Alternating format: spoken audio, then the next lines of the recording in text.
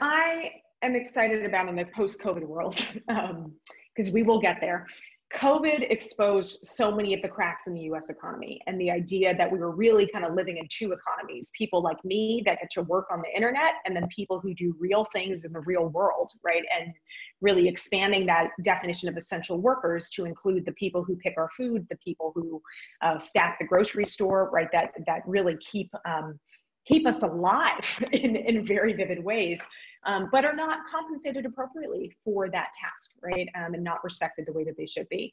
And I think that COVID has led a lot of investors to think, wow, this economy is really fragile um, and that we might need to base it on different values in the future.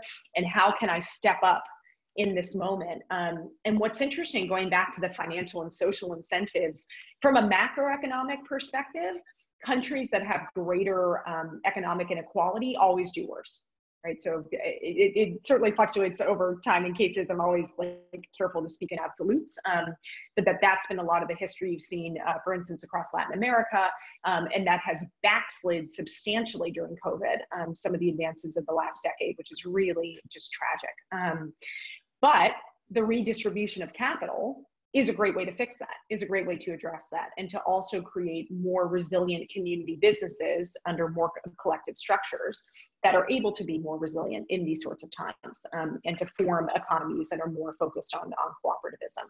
Um, so i think that's one of the pieces that we get to pick back up. Um, the other is that no, I think I mentioned our portfolio is over half women and people of color. And I would say before that was cool, right? Um, and that we have been really heartened to see more investors um, are really thinking about if if you um, uh, uh, uh, sorry so taking from a baseline less than 10% of, of early stage capital goes to women or people of and less than 1.1% of global assets are managed by women or people of color owned businesses. And when you think about, like in the venture world, sometimes people use the phrase, um, which is kind of gross and, and sexist in its own way, but spray and pray, which is the idea that you uh, spray money around to a bunch of different businesses, right? You'll invest in like 60 early stage companies. Um, and then you just see which one of them is going to become an Uber, right? Which is going to succeed widely. And when you think about if you sitting in um, in New York, which is I think 70% people of color, or the Bay Area, that's 60% people of color, and most venture happens in those two cities. If I just went to the top of the Ferry Building or the Empire State Building and I sprayed my money around, right? And it falls down on the ground people pick it up and you know and it, that's my investment community. You would think my portfolio would be majority people of color right? Like this implies that as an industry we have systematically gone out of our way to over index to white men. And specifically 40% of those receiving venture coming from stanford and harvard from just two schools right?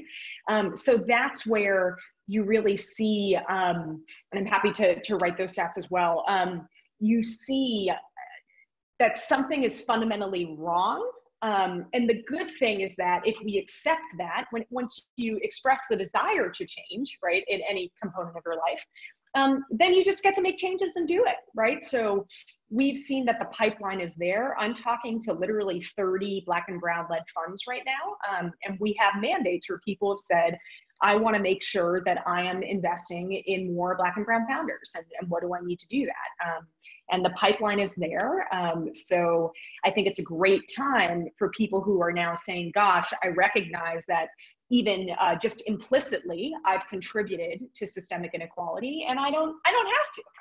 Um, I have options of what I can do with my money, that it's a great time to be executing on that thesis.